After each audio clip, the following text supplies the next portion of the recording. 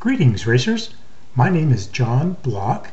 I'm with AutoWare and I will be your instructor today on this complimentary video covering Data Acquisition Basics Part 2. In the first video we saw that a data acquisition unit is really very similar to the ECU or engine control unit in our street cars. There is a logger that sends 5 volts out to sensors. The sensors return that voltage to the ECU where it is recorded. And then later we can come back with our scan tool and download the ECU. Well, that's exactly the way our data acquisition works on race cars. You can see in this picture that the data system has an access point for the laptop to download the information just like the scan tool. Now this isn't something unique or special just to Formula One or IndyCar or you know the high end. It's also available and being used on weekend racers. In this photograph, you can see a data system with a laptop being used on a street stock.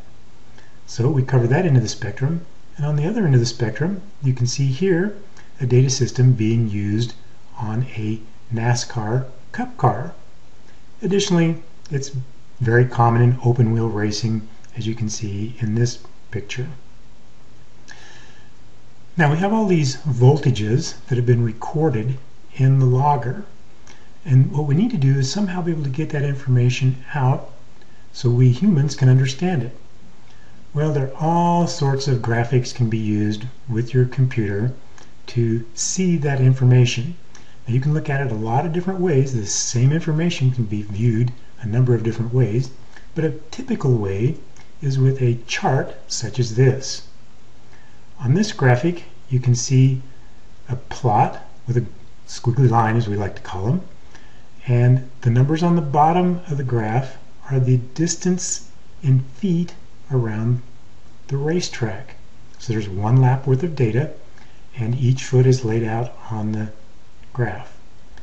The vertical axis happens to be the value of what's being graphed. This plot is for speed. So you can see the speed at each point around the track and see how the speed increases and decreases. all right, well, that's just one way that data can be displayed. Now, all this information is there in your computer, but it can be displayed in just an incredible number of ways. For example, in this picture, you can see that the data system will show you a track map. In essence, it shows you where the car was driven. And this is after the fact. You don't have to have GPS to do this.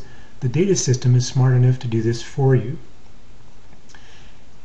In this graphic, we can see an oval track. So it's not just for road racing, it's for oval racing as well. Now here's where it gets really exciting. After you have already raced, tested, or qualified, and you download the information, you can come back later and insert markers around the track to break your track into segments. So it's like having multiple stopwatches. This information can then be translated into another graphic, as you see here, known as a segment report. So you have the rows and columns, and you have lap times, total lap times, and the lap time for each segment in each lap. This is just another way that all that voltage can be displayed. It's the same information, we're just using computer graphics to look at it differently. Well, here's one that's really exciting. This graphic here will uh, show you the chassis position as it rolls in the corner. You can see dive, uh, squat, that sort of things. But what's really fun is you can take this graphic and swing it around. You can see here we look, we're looking at the side. And if we spin it around the other way, we are actually kind of standing at the left front corner of the car looking back at the car. So the green line would represent the static position and the red line is the dynamic position as the car goes through the corners. All right, well this is just a couple ways you can see data. what's really exciting is you can take all sorts of graphics and combine them on the screen at one time. For example, in this picture, you can see our chassis graphic where the arrow is and beside that you see the track um, map. This is where the car has actually been driven. So you can start combining these things and there are more graphics yet you'll notice in this picture notice the arrow is pointing at a little uh, steering wheel graphic. Well you can also tell the steering wheel position the little bars on each side are also the throttle and brakes. You have an idea of what's actually happening in the car. Now, fasten your belts. Here's where it gets really cool. All of these graphics on this screen you see here are keyed together. This is all those voltage voltages that were recorded in the logger, but when we put them together with multiple graphics on the screen, they are all keyed together so if you click at a certain point, for example, you can see where the yellow arrow is pointing to that line, that is the current position in the data. And if you look up at the track map, you see a little circle, so it actually shows you where you were on the track. Beside that, you can see the little chassis platform, if you will. You can see it's kind of rolling over. And in the graphic below, we have wheel position, in other words, shock travel or wheel travel and a number of other graphics.